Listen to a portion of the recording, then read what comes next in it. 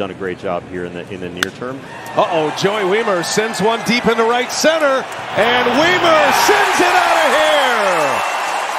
The red hot Joey Wiemer stays that way. Opposite field, two-run blast.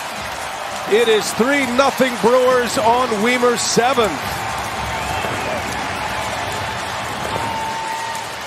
You know, Matt, it's been amazing to watch the progress.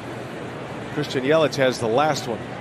Wiemer down the left field line, way back. It is fair and gone. Joey Wiemer. What a ride he is on.